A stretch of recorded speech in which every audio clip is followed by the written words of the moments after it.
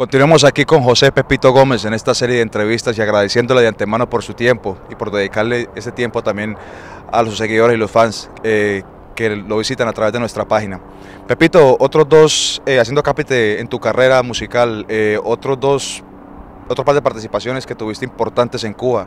Una de ellas con el maestro Willy Wolf, la orquesta Mamborama, mm. igualmente que la de Soneros del Star. Cuéntanos un poco de esas dos experiencias.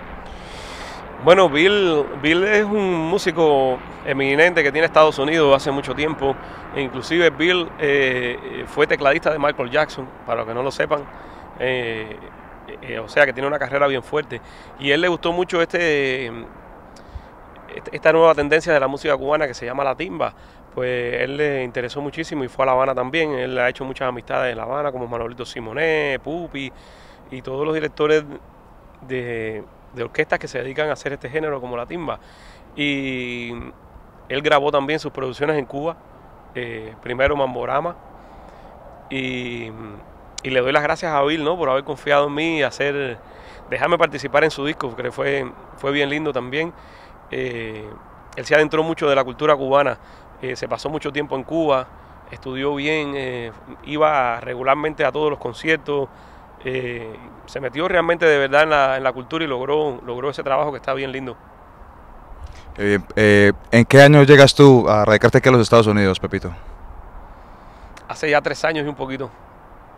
Y cuéntanos un poco de esa experiencia para llegar a este país e involucrarte de lleno con esto de la música y teniendo también la, la, la virtud de que tu talento ha sido reconocido. Ya has tenido ya varias participaciones en diferentes orquestas, en diferentes toques. Has estado con bastantes bandas, has tenido un arranque fuerte que obviamente no es regalado, es parte de tu talento, es parte de lo que has hecho como artista desde que viniste desde Cuba.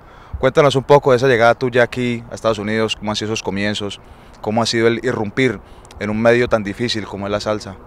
Sí, bueno, pues mira, yo llegué a Estados Unidos porque vine con César Pedroso con Pupi a hacer unos conciertos a Canadá y decidí abandonar la orquesta y venir a Estados Unidos. Eh, uno siempre tiene inquietudes, tiene ganas de, de emprender su, vuelo, como, como, dice todo el mundo, y, probarse a sí mismo a ver hasta dónde es capaz de llegar. Yo había tenido ya mm, eh, confrontaciones con artistas de rango, como en los festivales de Europa, como cantar con Gilberto, con el, con el Canario, con Cheo Feliciano, le doy las gracias, fue muy amable en dejarme cantar con él aquella noche y portarse de la manera que se portó. Y, y, eso, esas confrontaciones con esos artistas, pues te da como una panorámica de lo que de lo que puedes llegar a ser, ¿no? Y dices, creo que creo que puedo lanzarme a, a lograr esto, creo que puedo puedo llegar a tocar, puedo llegar a cantar, puedo, donde me, lo imagino, donde, no sé, un poco como con las ganas de conquista que tiene cada cual dentro. y, en, sí, y entonces eh, llegué a, acá a Nueva York, ya hace tres años y pico, y emprendí caminos. Es difícil para, por ejemplo, para un cantante como, como yo, establecido ya en la isla de Cuba, y que estaba en las orquestas de primera línea, que tú sales a la calle y todo el mundo te saluda y llegas a cualquier lugar y todo el mundo tira fotos y, y todas, todas esas cosas que todo el mundo sabe que suceden con los artistas o con alguien que hace una vida pública. Pues entonces encontrarte en los Estados Unidos donde nada, todo el mundo te pasa por al lado y nadie sabe quién tú eres. y tú dices, creo que, creo que hice mal. Pero bueno, siempre tienes la fuerza de, como decimos, para adelante porque ya, ya no queda para atrás, para, para atrás a cualquiera. Y entonces pues bueno, gracias a Dios eh, todo se ha ido desenvolviendo. Eh, tuve la oportunidad de conocer a Oscar Hernández, de trabajar con, Spanish Harlem, que es una orquesta que me dio dentro del sector de Puerto Rico, eh, me dio la posibilidad de conocer músicos de Puerto Rico. le doy las gracias a los músicos de Puerto Rico también, que me han ayudado, me han dejado participar en sus orquestas, en, su, en sus trabajos, en sus producciones.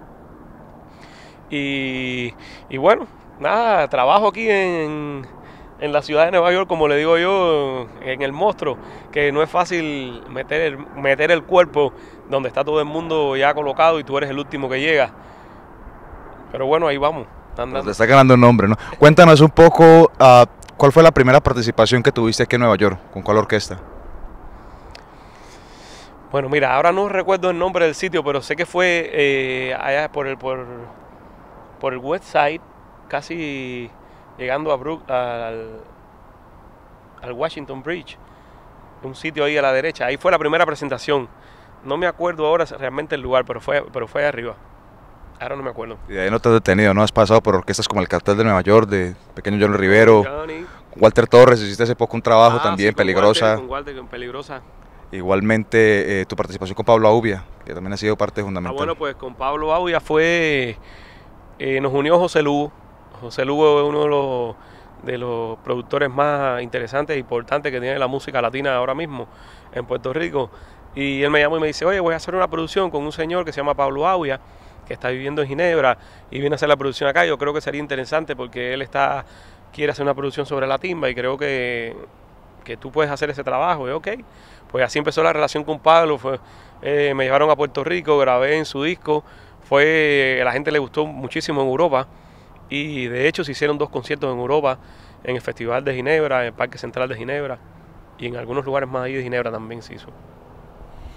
Y aquí también en Estados Unidos arrancas tu carrera como solista, ¿no? Empezando con un gran éxito como es Esta Noche. Cuéntanos un poco cómo arranca todo esto con ese tema, Esta Noche. Ah, Bueno, mira, esta, esta noche eh, son canciones que ya uno trae, que tenía hechas. Solo faltaba un pedacito del final.